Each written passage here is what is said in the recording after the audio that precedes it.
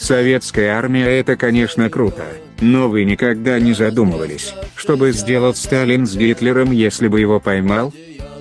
Как вы можете подумать, Сталин поймав его, хотел бы пытать, бить, держать в голоде, но в связи с тем, что в 1929 году, 27 июля, была подписана Женевская конвенция об обращении с военнопленными, он по закону не имел права делать что-то столь жестокое, но может быть Гитлеру это правило могло не относиться.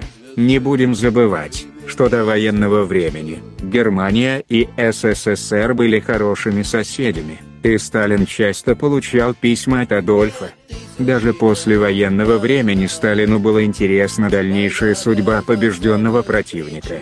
Но все равно мы не можем предположить, что бы на самом деле сделал Сталин с ним. И нам остается только жить радуясь, что мы не пережили такого. Красная, красная кровь Через час уже просто земля Через два на ней цветы и трава Через три она снова же